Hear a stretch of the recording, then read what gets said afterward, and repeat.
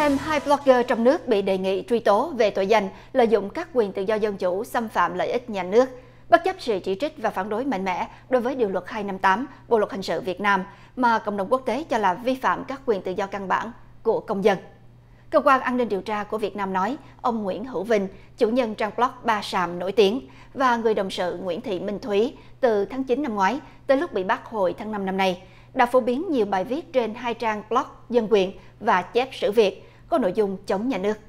Bản kết luận điều tra cáo buộc những thông tin ông Vinh và bà Thúy đăng tải là sai sự thật, không có căn cứ, tuyên truyền xuyên tạc đường lối chính sách của đảng, pháp luật của nhà nước, đưa ra cái nhìn bi quan một chiều, gây hoang mang lo lắng, làm ảnh hưởng tới lòng tin của quần chúng nhân dân đối với sự lãnh đạo đất nước của đảng, chính phủ.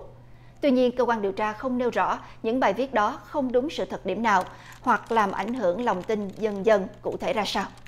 Kết luận điều tra cũng không đề cập tới trang Ba Sàm do ông Vinh sáng lập vào năm 2007. Trái với các thông tin báo chí nhà nước đồng loạt đăng tải khi hai blogger này bị bắt, nói rằng vụ án có liên quan trực tiếp tới trang Ba Sàm. Bà Đinh Ngọc Thu, một cộng sự của ông Vinh tại Mỹ, đảm trách điều hành trang Ba Sàm, phản ứng trước nội dung kết luận điều tra của cơ quan an ninh Việt Nam. Những cái thông tin mà cơ quan điều tra đưa ra buộc tội anh dính tới cái điều 258 là hoàn toàn là không đúng theo cái bản kết luận điều tra này á thì tôi thấy là nó hoàn toàn nó mâu thuẫn với tất cả những cái thông tin mà báo chí đã đăng tải từ trước tới giờ. Văn bản đề nghị truy tố viết rằng hai blogger Nguyễn Hữu Vinh và Nguyễn Thị Minh Thúy không khai nhận hành vi phạm tội, cần phải xử lý nghiêm trước pháp luật.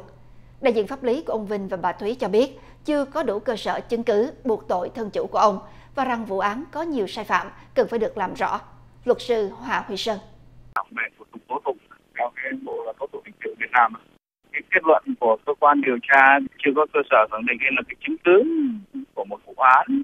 mà cáo buộc cho họ. Blogger Ba Sàm và thư ký Minh Thúy bị cáo buộc vi phạm điều 258 giữa lúc ngày càng gia tăng các nỗ lực từ giới hoạt động trong và ngoài nước và các tổ chức bảo vệ nhân quyền trên thế giới, mà gần đây nhất là cuộc quốc tế vận của các blogger Việt Nam ra trước Liên Hiệp Quốc, vận động buộc Việt Nam hủy bỏ điều luật này.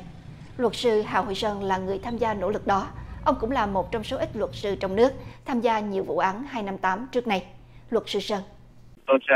đấu tranh cho cái việc mà bỏ cái điều 258, cái điều này nó không rõ ràng và nó dễ bị các cơ quan